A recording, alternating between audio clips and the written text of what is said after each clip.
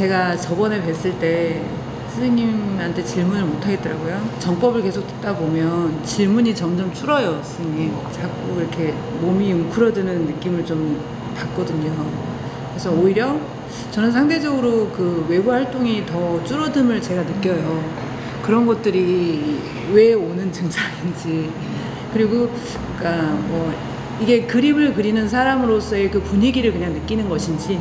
그러니까 예를 들어서 밝은 햇볕보다는 조명을 좋아하고, 스승님은 질량이 커지면 높은 곳을 더 좋아하게 된다고 했는데, 저는 낮은 1층에 그 정원이 있는 그런 부분이 오히려 저한테는 더 감성적으로 와닿고 근데 그런 거를 봤을 때 이런 것들이 단순하게 그냥 그림을 그리는 사람으로서의 감성적인 것인지 이런 것도 질량하고 상관이 있는지 그게 좀 궁금해요. 음, 그 사람마다 전부 다 틀리잖아요. 네. 높은 곳을 좋아하는 거는 그쪽에서 생활하는 걸 좋다라는 것이지 생활할 때 그 들어가서 높은 자리에서 내가 생활을 하는 거고 저 일하러는 어디 땅을 밟고 또 가잖아 이래 그죠? 어 그렇게 하는 거고 내가 질량이 좋아지면은 어, 내가 바깥 활동을 하는데 시야가 넓어지는 거고 어 또 뭐든지 아니까 근데 내가 지금 자꾸 저 저거 쪼부라들 때는 내가 공부하라고 쪼부라드는 거예요. 어, 질량이 약하니까 자꾸 안으로 이래 들어온다. 안으로 들어오면 안에서 공부를 해야지. 공부를 하라고 자꾸 이제 이렇게 이렇게 갖고 이렇게 구속이 되는 거거든. 그래도 공부를 안 하고 자꾸 그럼 내가 아파져요. 아파져 갖고 병원에 누웠다니까. 어, 병원에 누우시면 공부하기가 제일 좋은 시간이거든. 어. 우리가 공부하기 제일 좋은 시간을 가지고 있는 게 교도소, 병원, 집안, 코, 뭐 이런 거. 그때는 진짜로 깊은 공부해야 되는 거예요. 어. 왜? 다른 거는 싫잖아. 이게 좋지. 그럼 여기서 할 거라는 공부거리가 있으면 제일 좋지. 어. 그렇게 공부시키려고 유배 보내거든요. 어, 활동하지 말라고. 어. 근데 공부시키라고 보냈는데 내를 이런데 보내게끔 만드는 그 말을 찾아갖고 미워하고 있어요. 유비지에 앉아서 공부는 안 하고. 어, 그러니까 자꾸 그 가면 난좀 사양 내려오거든요. 어, 누가 더 모험해. 어, 모함을 더 한다니까. 그래갖고 사약까지 온다니까. 니도 모르게 밖에서 만들어져가 사약은 밖에서 오는 거예요. 근데 내가 여기서 누구를 자꾸 원망을 하는 걸 이 소문이 밖으로 나온 거야. 그게 절만 죽여 뿌야 되는 거지. 그러니까 사약이 오는 거라. 어. 이제 우리 역사를 배우는 것들이 그런 것들이에요. 왜 우수한 사람들이 모함을 받아갖고 지금 유배를 가게 됐었는가. 그 안을 파야 되는 거죠. 어. 우수하다라고 보면 안 되고 조금 우수한 걸 가지고 사회에 나가서 지공부는 안 하고 활동만 하면서 나중에 그 높은 자리까지 가갖고도 활동만 하지 공부는 안 하니까 두드려 맞는 거예요. 어.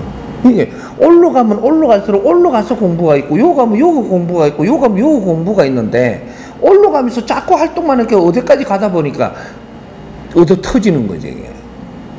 어. 그러니까 이제 지금 이 사회가 똑 같은 일이 벌어지거든요. 어, 그게 내가 저 아이들을 가르치려면 당신이 많은 걸 알아야 돼요? 몰라야 돼요? 어, 이제 많은 걸 알아야 되는데 알아야 될걸 공부를 안 했어. 그러고 아이들을 접해.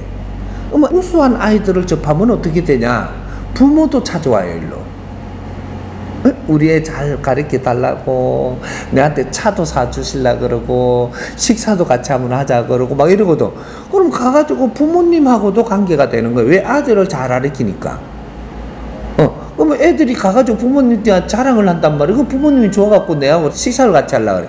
이제 애들을 잘 가르치니까 부모님한테 이게 간 거고 부모님이 나를 보고 싶고 보니까 부모님도 잘 케어해 줘야 되는 거예요 내한테 오는 거는 다 케어할 줄 알아야지. 그냥 밥만 얻어 처먹고 왔으면은 너는 다음부터 부모 볼 일이 없는 기라.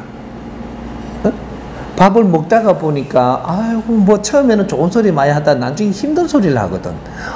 아유 그런 거를 자꾸 들어주면서 에? 그런 걸 또 소화를 할 수 있는 길을 찾아주고 하니까 아, 부모님이 다음에 또 볼 일이 생기는 거예요.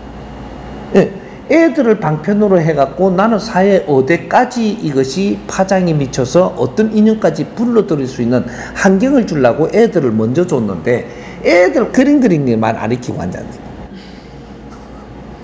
그럼 널본 수가 없는 거지.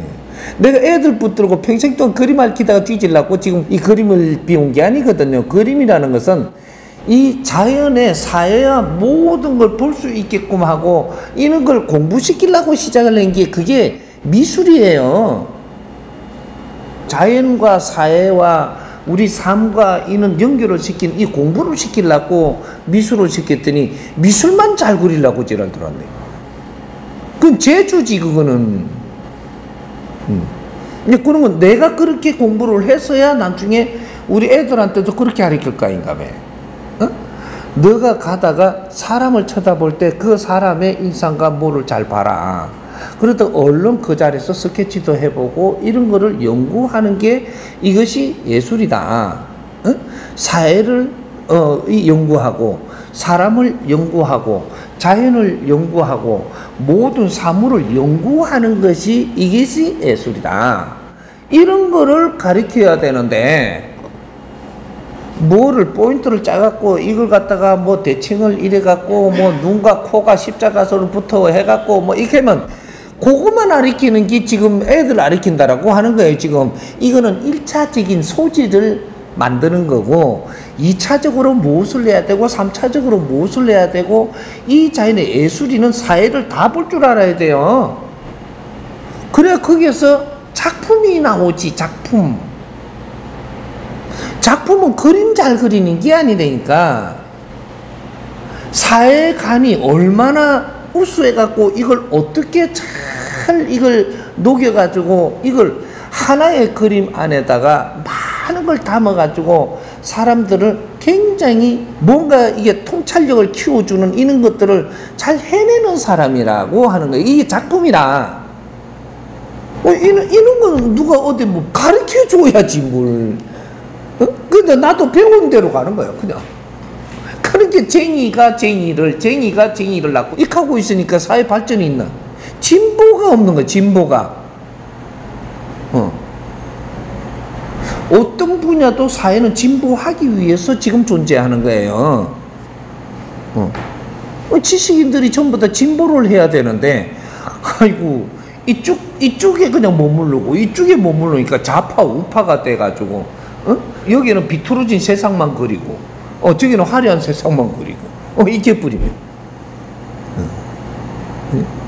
이제 앞으로 이런 것들을 우리가 개발해야 돼요. 연구하고 개발을 해서. 어? 그래갖고 우리 젊은이들한테 이는 문호를 넓혀주는 거. 이런 걸 하는 게 우리가 선배들이거든요.